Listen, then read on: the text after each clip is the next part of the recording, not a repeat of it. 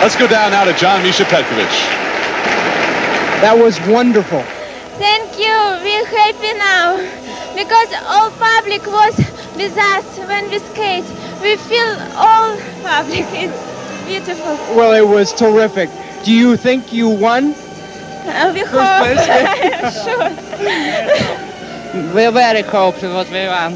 Will we see you in Cincinnati in the United States next year? Yes, we want. We want skate in Cincinnati. And you skate for the gold again? Yeah. Good luck. Thank, Thank you. you. We'll be back with the results in a moment.